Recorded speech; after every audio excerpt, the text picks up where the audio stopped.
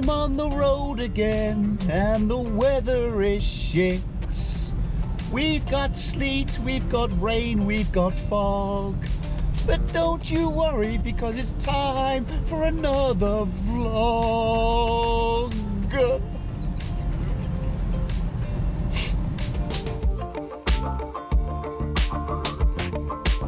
Hello, you lovely people. Uh, hope all is cool. Uh, today, uh, doing another vlog, uh, going up to Aston Villa training ground, and I'm going to see uh, John Terry. Um, John Terry, what, what a player!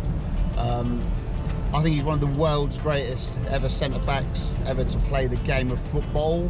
Um, that leads to my question to you guys. Love all the questions. Love all the interaction we have. It's brilliant. Um, my question is for you guys: is who's the best ever centre back?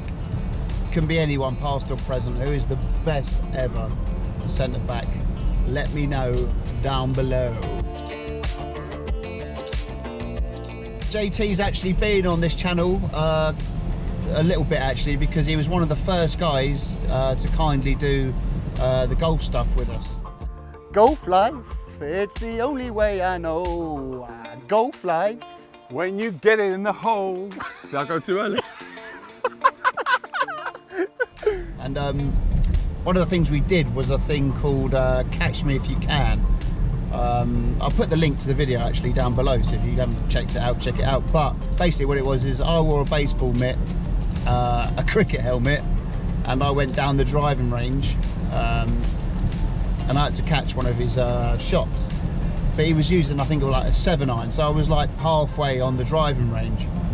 So when we did that, and then he caught mine as well, he went right geez get right down the other end of the uh, driving range. I'm going to use a driver.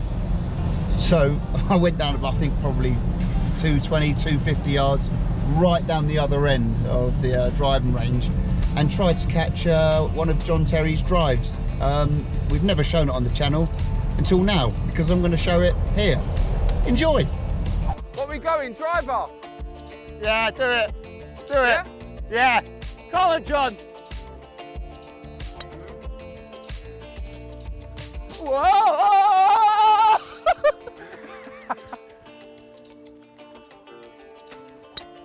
oh, it's decent. It's decent.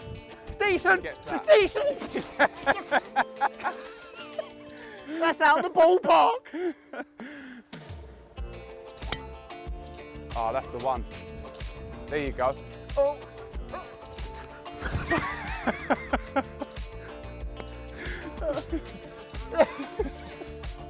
Oh.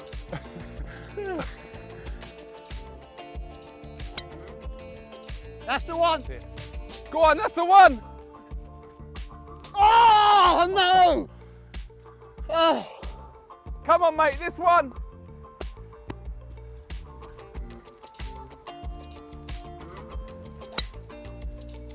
That's the one. That's the one. That's the one. Oh no! no! I had it in my hands. There you go. That's the one. Come on. Oh!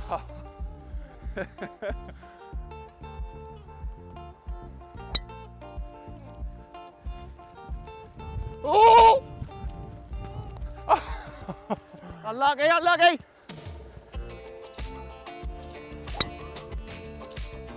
Oh, tree! she ain't getting that. That's out of the ballpark.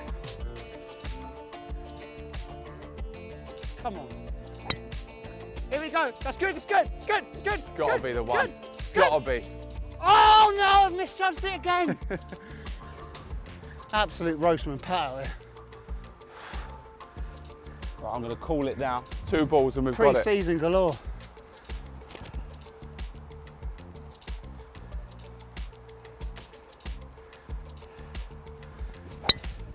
Ah.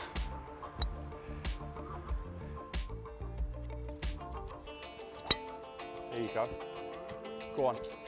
Come on. Come on. Yes! Hey! Come on!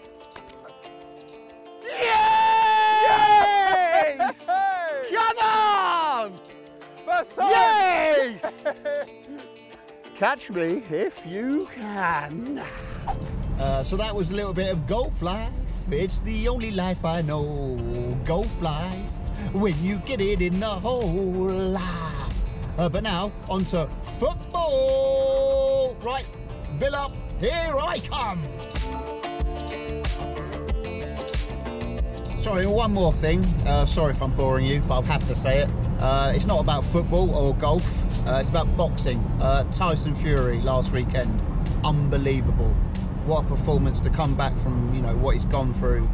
And it was absolute domination. And Deontay Wilder was really quite embarrassed himself, blaming the suit that he came out with.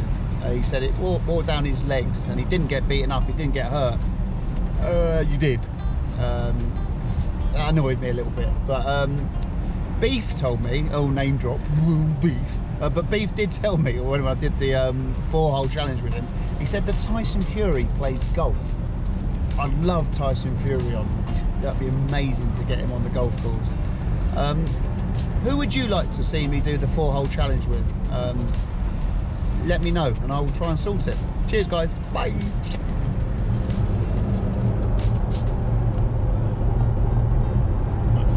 Sunny now, it was snowing a minute ago. And here we are. Here we are, this is where the magic is happening today. Aston Villa Media Centre. And here we go. This is where Dean. This is where Dean Smith does his uh, press conferences. That's where JT will be sat. That's where I'll be sitting.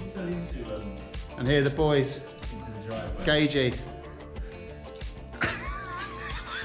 How's it going? I'm not taking part in this. How much do you love working with me? I- I'm not taking part in this. I refer all questions to my lawyer. And there is Stewie Middleton.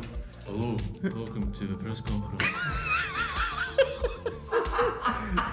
Love these boys. There they are. Gagey, seriously, how much do you love working with me? Jesus, just make it it finish. what a legend. Right, just come out to the car. Bit of an apple break just while we wait for uh, JT. My footballing heroes growing up were Gianfranco Zola, Super Frankie Lampard, and actually John Terry. I wonder who John Terry's heroes were. I'm going to go and find out. Not gonna shut the door. Who was your first footballing hero growing up? Who did you look up to? I loved, um, again, England players at that time would have been like Brian Robson, Tony Adams, players that, that played with their heart on their sleeve and kind of give everything, would kind of throw their face and their bodies in front of balls and to stop it in and, and kind of drove other players around them as well. I loved to see that as a youngster and it was them two kind of really stick out for me. So, interview done. Thought it went really well, but more importantly, what did Alex Gage think? Alex? Gagey, how did I do? Gagey, how did I do? Don't make me swear. How was it for you? You know what? Technically, it was fine. Cameras work. How did I do?